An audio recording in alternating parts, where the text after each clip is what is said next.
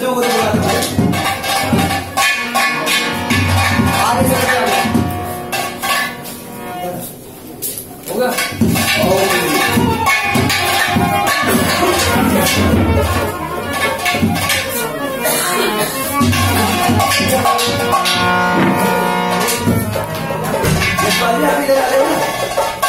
आप यहाँ आइए। अरे ठीक है। बैठ के चाहिए। भाई दस तो ये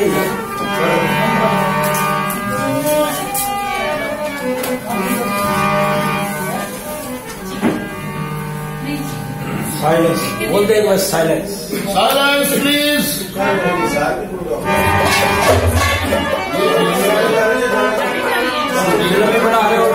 हो